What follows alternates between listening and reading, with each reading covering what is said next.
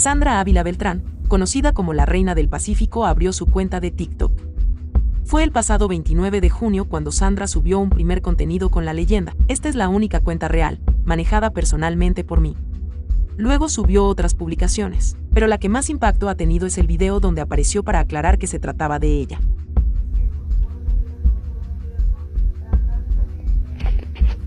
Hola, buenas noches. Muchas gracias por todas las personas que me han, tenido interés en mi, en mi página. Esta es la oficial. Las otras no son mías. Sí soy yo. Para todas las personas que preguntan si soy la verdadera, la real, sí.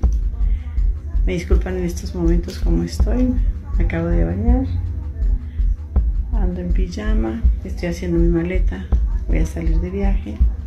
Pero antes de de salir mañana, quería darle las gracias por estar conmigo, por todos sus comentarios tan hermosos que me ponen. Disculpen que no les haya escrito, que no les he contestado como debe de ser. Mm, he tenido un poquito de ocupaciones, cosas que hacer, pero pronto va a ser el live como ustedes lo quieren. Espero que les guste. Les mando un saludo. Que Dios los bendiga. Su nombre, por favor. Sandra Ávila Beltrán. ¿De dónde es originaria? Tijuana, Baja California. ¿Cuál es su dirección?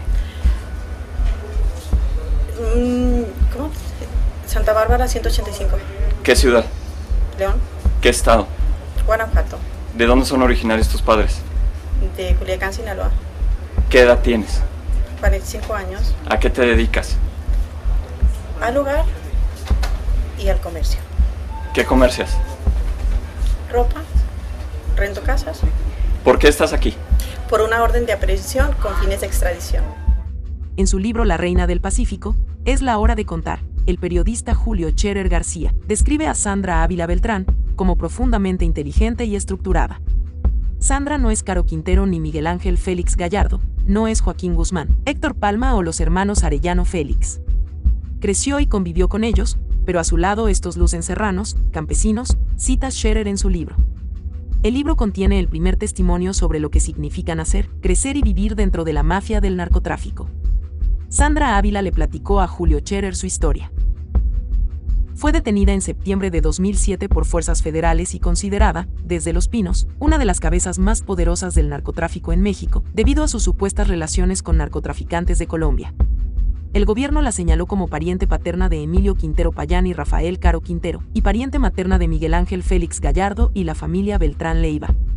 Se casó dos veces, sus dos maridos irónicamente comandantes de la policía antidrogas que llegaron a ser narcotraficantes. Ambos fueron asesinados por sicarios. La policía atribuyó su ascenso al poder en el mundo de la droga gracias a su gran inteligencia para los negocios. También se le relacionó con los narcotraficantes Juan Mata Ballesteros y Alberto Sicilia Falcón.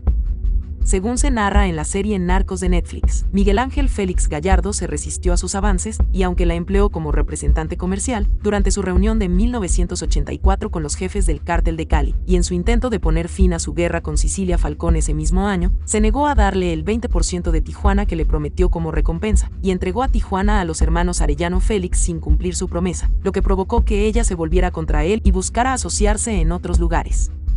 Su oferta de asociación fue rechazada por los hermanos Arellano Félix, pero el jefe del cártel colombiano del norte del valle, Orlando Henao Montoya, decidió suministrarle 200 kilogramos de cocaína para que ella misma la trasladara a Estados Unidos. Más tarde Ávila Beltrán se convirtió en socia menor de la operación transfronteriza de tráfico de drogas de Enedina Arellano Félix, trabajando con Henao Montoya para introducir cocaína colombiana en Estados Unidos.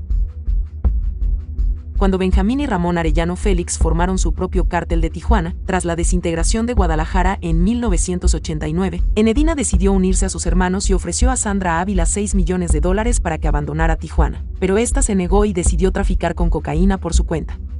Enedina tomó represalias enviando a policías corruptos para que la detuvieran, deteniendo temporalmente su operación. Más tarde se convirtió en una de las principales operadoras de los tratos entre el cártel de Sinaloa y el cártel del norte del Valle, hasta que fue detenida. Al abandonar la cárcel, concedió una entrevista a The Guardian, en la que arremetió contra la corrupción de los políticos mexicanos, se burló de la inutilidad de la prohibición de las drogas y celebró la fuga de El Chapo Guzmán. Durante la entrevista, Sandra Ávila habló de los sobornos a los funcionarios públicos mexicanos. Lo máximo que he oído es un soborno de 100 millones de dólares a un presidente mexicano, dijo Ávila. Un millón de dólares no es nada. Sandra Ávila se negó a responder a ciertas preguntas sobre su papel exacto en el tráfico de cocaína, pero sí dejó clara una cosa, no se siente culpable. Nació en la realeza del narco, de niña, vivió en la opulencia, le ofrecieron clases particulares, de piano y de baile y frecuentes viajes por todo el mundo. Su padre Alfonso Ávila Quintero está emparentado con el fundador del cártel de Guadalajara. El estilo de vida de su familia también incluía montones de dinero, de niña se pasaba tantas horas contando dinero en efectivo, que más tarde era capaz de sacar un puñado de billetes y calcular con precisión su valor. Mientras sus amigos de la infancia pronto ascendieron hasta convertirse en líderes del cártel de Sinaloa, la joven Sandra exploró otros caminos, matriculándose en clases de periodismo cuando tenía 17 años. Pero a los tres años de estudiar comunicación en la Universidad Autónoma de Guadalajara, un novio celoso la secuestró. Era un joven poderoso estrechamente vinculado a los cárteles. En pocos meses, ella abandonó la ciudad, poniendo fin a sus esperanzas de hacer carrera como reportera de investigación. En su lugar, Sandra Ávila entró en el submundo de la droga. Recuerdo a un pretendiente que me compró una camioneta y la dejó en casa de mi amiga con flores y una nota, dijo. La nota decía, gasta el dinero en un viaje que quieras, y había un sobre. Contenía 100 mil dólares, relató a The Guardian. A los 21 años, se reunía en privado con el narcotraficante Amado Carrillo Fuentes, también conocido como el Señor de los Cielos. Sin embargo, Ávila se propuso no consumir nunca cocaína. Si lo haces, los hombres piensan que eres otra mujer desechable, no te respetan, dijo. Las mujeres de este mundo, explicó, son maltratadas, descartadas y desechadas con poca más preocupación que la de un niño que abandona una muñeca Barbie. Los líderes del narco mantienen un harén de hasta 10 mujeres y esta libertad sexual, subrayó, no se extiende a sus compañeras. La mujer, dijo, es vista como un objeto, un adorno o una necesidad, pero nunca como un ser luchador o una persona hecha de triunfos y logros.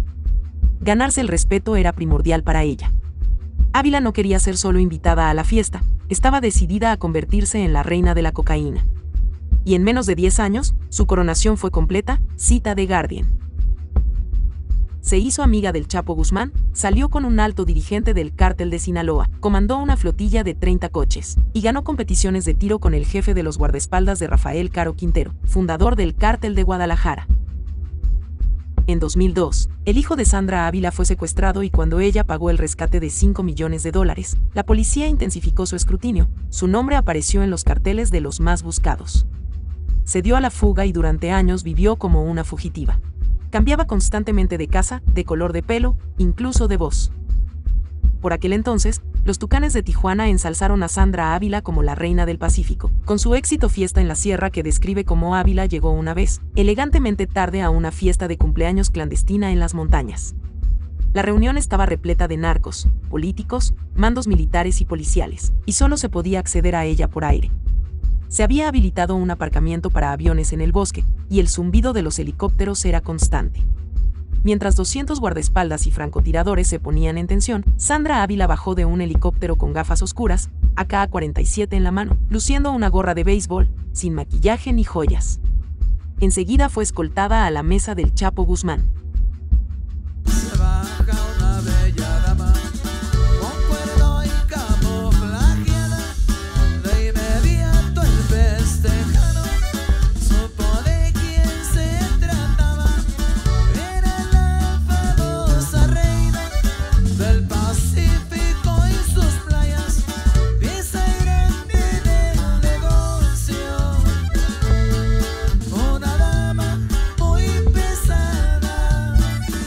Canción se convirtió en un éxito, pero Sandra Ávila estaba furiosa, había sido descubierta. Su preciado anonimato se rompió y su mala suerte continuó. Meses después, ella y su compañero Joel sufrieron una emboscada cuando iban a desayunar. Dos pistoleros encajonaron su coche y descendieron con una ráfaga de disparos. Ávila se tiró al suelo y, mirando al cielo, imaginó que eran sus últimos segundos en la tierra pero se acordó de su hermano, recientemente asesinado, y de lo mucho que esa muerte había afectado a su madre. Entonces relató a The Guardian lo que sucedió. Decidí abrir la puerta y correr. Pensé que tenía más probabilidades de sobrevivir si salía. Quizás podría salvarme entre los otros coches. Y eso fue lo que ocurrió. Empecé a correr, llegué a la acera, entré en un edificio de apartamentos, me escondí detrás de un pequeño arbusto. Pude ver que me buscaban, me agaché. Y al oír el sonido de las sirenas, el hombre armado que venía detrás de mí empezó a correr para escapar. Acordonaron la zona y pude ver a Joel tendido en la calle. Muerto. Sandra Ávila describió como un humilde señor quien fue testigo de la escena le dio cobijo, le puso ropa sencilla y le salvó la vida. Me tomó del brazo, me abrazó y me dijo que si alguien preguntaba, le dijera que era su sobrina. Me dio 50 pesos porque había dejado todo en el coche y escapé en un taxi. Durante los tres años siguientes, su vida de huida continuó. Conoció a su nuevo amor, Juan Diego Espinosa, un joven y apuesto traficante de cocaína colombiano que, entrevistado años después en la cárcel, calculaba entonces que movía 10 toneladas de cocaína al mes desde Colombia a Estados Unidos, vía México. Ambos fueron detenidos el 27 de septiembre de 2007. Durante gran parte de la siguiente década vivió entre rejas, pero con estilo. Narra The Guardian que mientras otras presas recibían visitas en una sala común, los invitados de Sandra Ávila eran acompañados a su celda, donde sus tres sirvientes le servían comida, alcohol y cigarrillos. José Gerardo Mejía, el primer periodista que la entrevistó en la cárcel, describió a Ávila como una presa con tacones de 10 centímetros, adornada con joyas y ropa a la medida. También aprendió a sobrevivir en el confinamiento solitario, donde fue abandonada durante casi dos años. Sandra Ávila narró que pasó su tiempo de aislamiento, reviviendo su sueño de periodista. Se imaginaba que era corresponsal, escribiendo y emitiendo noticiarios. Para concluir la entrevista, The Guardian le preguntó, ¿qué medida única tomaría si fuera presidenta de México y estuviera interesada en erradicar la violencia del narcotráfico?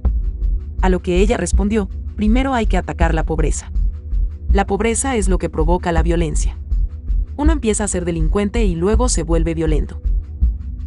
En el libro escrito por el periodista Julio Scherer se lee textualmente, Sandra Ávila podría no ser la reina del Pacífico, que va, podría ser inocente de los delitos por los que el gobierno federal, en su campaña de spots, ya la condenó sin juicio. Pero Sandra Ávila es, y aquí se confirma, parte importante de lo que ella misma define como la sociedad narca. Sandra Ávila Beltrán permaneció cinco años encarcelada en penales mexicanos en agosto de 2012, fue extraditada a Estados Unidos bajo la acusación de conspirar para importar y distribuir cocaína.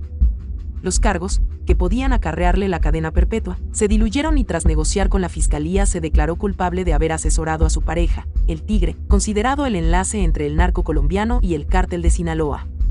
Fue sentenciada a 70 meses de prisión.